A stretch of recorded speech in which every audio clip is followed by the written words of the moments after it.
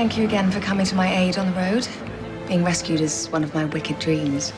It's not very wicked, being rescued. It's what you did to me after.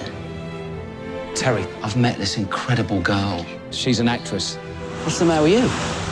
I lost a lot of money in a car game last night. How much? The ninety thousand pounds. How are you going to pay back ninety thousand pounds? You got some money put away. You told me. I've a little saved for this business proposition. I'm in real trouble here. Yes, you're in real trouble. Your Uncle Howard started with nothing, and now he's a millionaire, and yet he never forgot his family. So what, what kind of money are we looking at? We both find a way to pay you back. I wanted to talk to you about that. I think you'll agree that family loyalty cuts both ways. Oh, without a doubt. Name it, Uncle Howard. Anything. What's he expect? You'd never consider anything like that, would you? No. Would you?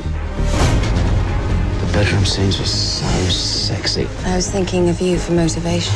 I want us to go to California together. You're not a big shot, Ian. Small stakes player. Look, for the first time in my life, I've met a woman and I'm in love with her. But this is a way out for me, too. Well, if you do it, there's no turning back.